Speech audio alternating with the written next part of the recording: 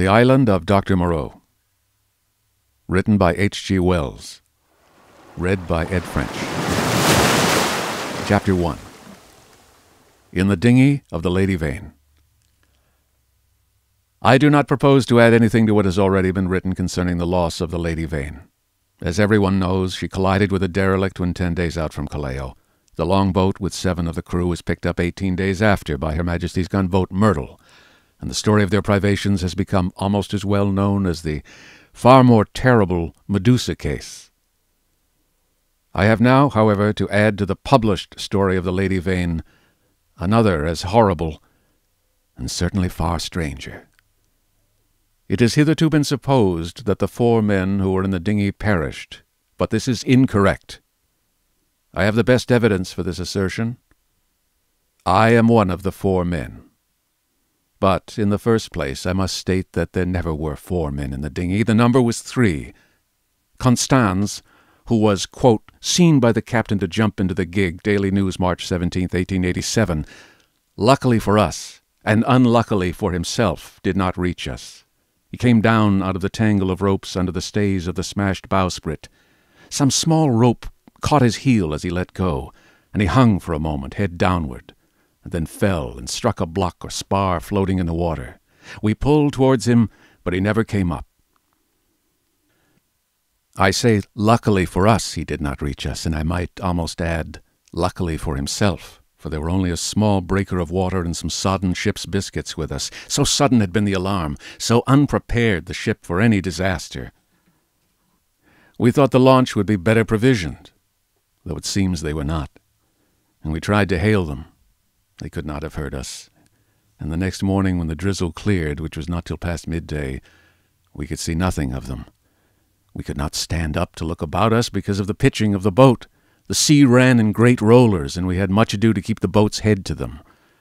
The two other men who had escaped so far with me were a man named Helmar, a passenger like myself, and a seaman, whose name I don't know, a short, sturdy man with a stammer.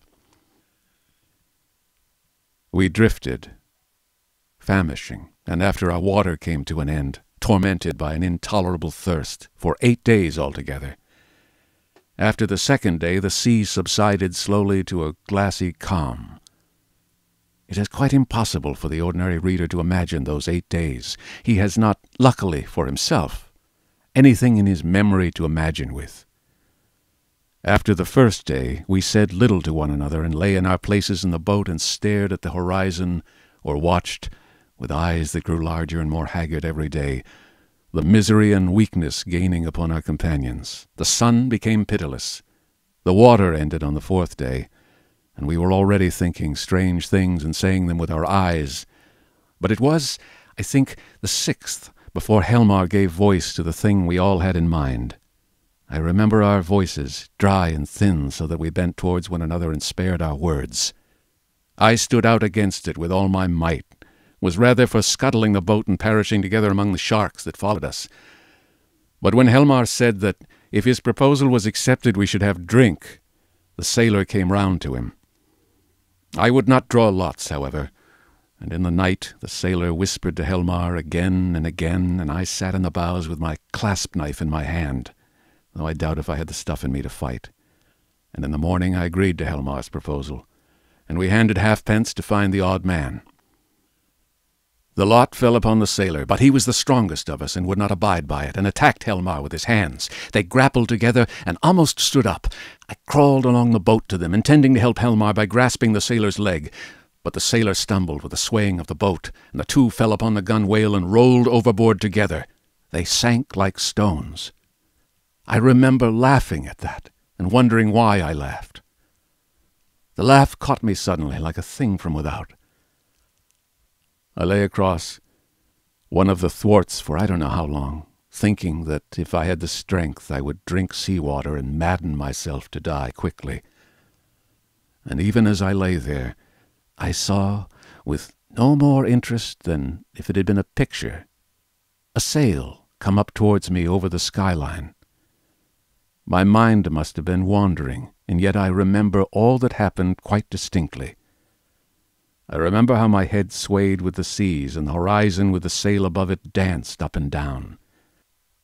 But I also remember as distinctly that I had a persuasion that I was dead, and that I thought what a jest it was they should come too late, by such a little, to catch me in my body. For an endless period, it seemed to me, I lay with my head on the thwart watching the dancing schooner. She was a little ship, schooner rigged fore and aft, come up out of the sea. She kept tacking to and fro in a widening compass, for she was sailing dead into the wind. It never entered my head to attempt to attract attention, and I do not remember anything distinctly after the sight of her side until I found myself in a little cabin aft. There's a dim half memory of being lifted up to the gangway, and of a big red countenance covered with freckles and surrounded with red hair staring at me over the bulwarks. I also had a disconnected impression of a dark face with extraordinary eyes close to mine, but that I thought was a nightmare until I met it again. I fancy I recollect some stuff being poured in between my teeth, and that is all.